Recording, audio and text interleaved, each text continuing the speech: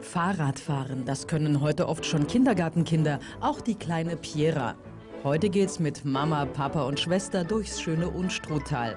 Dafür hat Familie Weiß sogar den weiten Weg aus Laufenburg in der Schweiz auf sich genommen.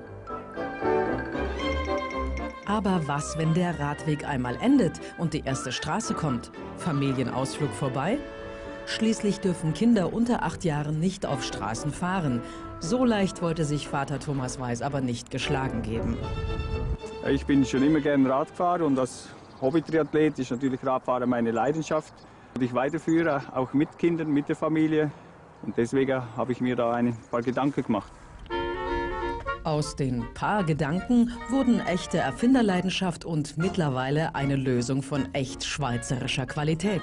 In 20 Sekunden ist mit ihr aus zwei Fahrrädern das Follow Me Tandem geworden, mit dem es nun auch auf der Straße weitergehen kann.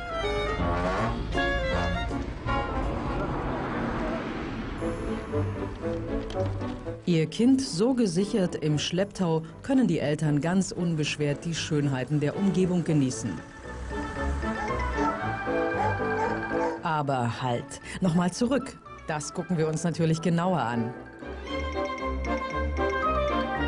Also, bevor sie benutzt wird, ist die Kupplung zusammengeklappt am Hinterrad des Vaters befestigt. Zuerst löst er nun die Halterung am Gepäckträger. Beim Herunterklappen entsteht eine stabile Dreieckskonstruktion. In sie wird das Vorderrad hineingeschoben. Die Radnabe schlüpft von selbst in die Halterungen. Verriegelt werden diese, indem das Kinderrad mit einem weiteren Bügel hochgehoben wird. Durch das Eigengewicht des Kinderrades schließlich arretiert sich dieser Bügel an der extra montierten Rahmenhalterung von selbst. Feststellen, fertig. Nun kann's richtig losgehen. Mit vereinter Kraft bilden die beiden in jeder Situation ein prima Tandem-Team. Vorne der Vater, hinten seine Tochter Piera. Klar, dass die Sicherheit bei seiner Entwicklung das A und O für Thomas Weiß war. Für eine hohe Stabilität des Tandems sorgt zum ersten die zweiseitige Befestigung der Kupplung an den Narben der beiden Räder.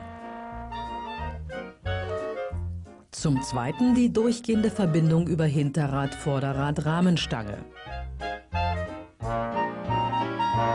Und zum dritten die stabile Drehachse und der sehr geringe Radabstand.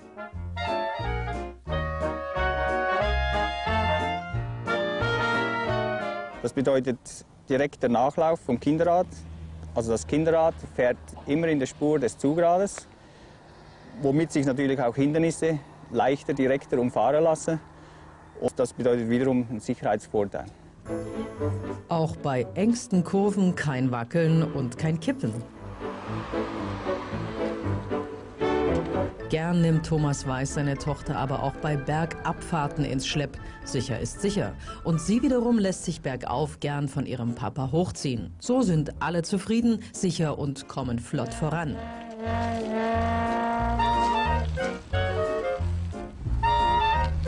Bis zum nächsten Radweg. Hier ist die Kupplung mit wenigen Handgriffen wieder gelöst und mit einem Spannseil am Elternfahrrad gesichert.